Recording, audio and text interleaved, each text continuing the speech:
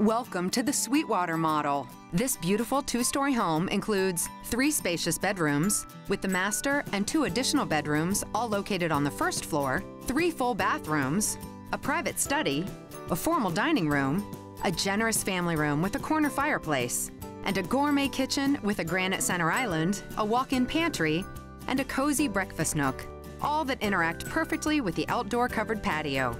The master suite of the Sweetwater, located on the first floor, includes a private bathroom retreat with a separate shower and garden tub, dual vanities, and an oversized walk in closet. This incredible new home also features a spacious upstairs loft and game room with an optional planning center, as well as a walk in utility room and mudroom, plenty of extra storage, and a two car garage.